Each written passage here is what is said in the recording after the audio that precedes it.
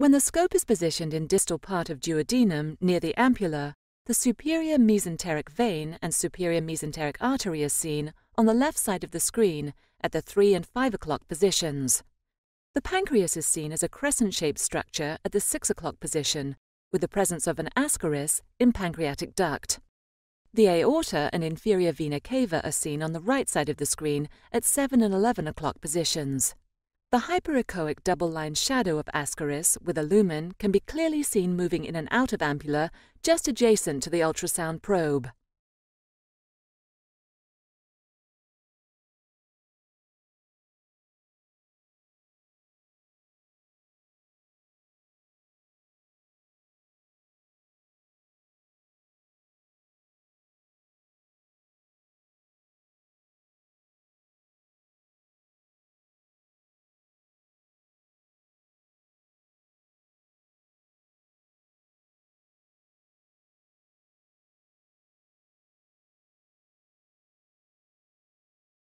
When the scope is pulled above the ampulla, the hyperechoic double-lined shadow of ascaris in pancreatic duct runs parallel to the ultrasound probe in the head of the pancreas. As the scope is pulled towards the duodenal bulb, the shadow is seen turning in the neck of pancreas. As the scope is pulled further back into stomach, the hyperechoic shadow is followed all the way across the body up to the tail of pancreas.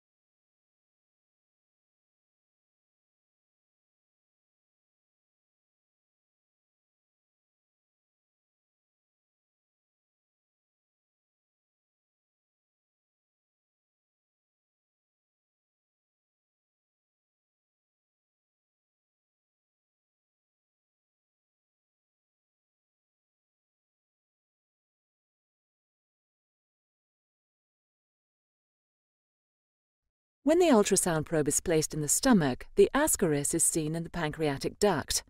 No peripancreatic inflammation is seen during this examination. The hyperechoic lines represent the wall of ascaris, and the anechoic area between the hyperechoic lines represents the lumen of ascaris. Clockwise and anticlockwise torque over the pancreas can follow the course of ascaris. In this case, the ascaris is thus traced all the way from just outside the ampulla to the tail of the pancreas.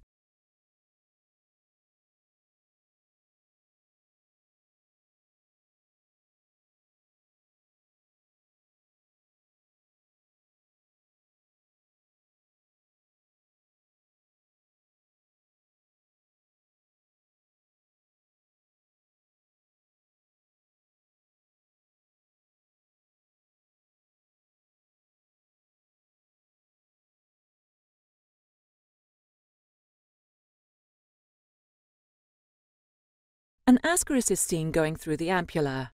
The ascaris is caught by a rat tooth forceps and gently pushed first into distal part of duodenum to remove it completely from inside the pancreatic duct. Once the ascaris is completely out of the ampulla in the duodenum, the removal of ascaris can be done.